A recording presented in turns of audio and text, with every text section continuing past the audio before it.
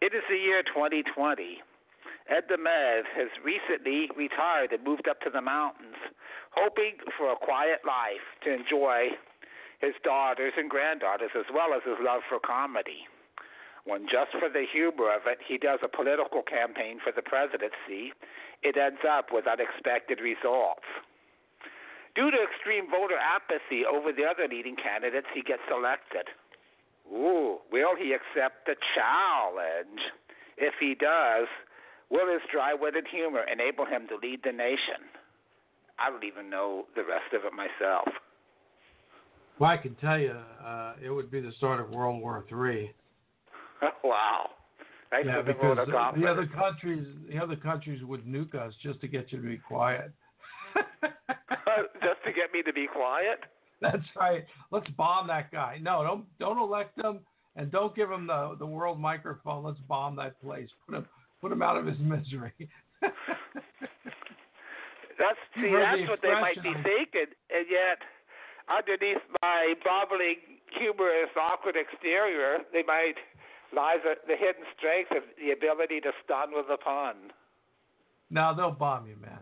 The world hates puns. They'll bomb you. You've heard of bombing in comedy. They would bomb your uh, butt, and I'm being nice again. They would bomb your butt, Ed. Uh, you know, at at at your swearing in, they'd take you out, man. They'd have snipers. You know, they'd have plastic explosives. Uh, a drone with your name on it would come from North Korea. Ed, they'd take you out, brother, rather than endure your puns for four years. Ed, you keep you keep giving out the puns. You will not live to see tomorrow. That's what I'm telling you. You get elected president, you keep punning. Congress will take you out. They will vote. It's the only time the Democrats and the Republicans will come into an agreement unanimously. Well, never, they will vote to take you out, man. They'll send the Navy SEALs. They say, take him out. We don't have time to impeach him. They'll get too many puns out. Take Ed The Med out. Wow. Be very afraid.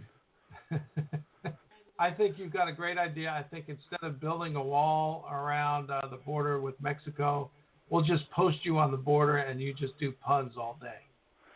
Oh, sure. The, the Mexican immigrants will flee they'll head south. They'll say we're not going anywhere near America. They got that crazy guy on the border doing puns. He's driving us crazy. He's he's local local gringo with puns. if you go to Ed's show, leave all your automatic weapons home. We want Ed to stay around because the world needs more puns. It needs Ed's comedy. Ed, you're a gift to the world and the body of Christ, and we appreciate you. Thank you.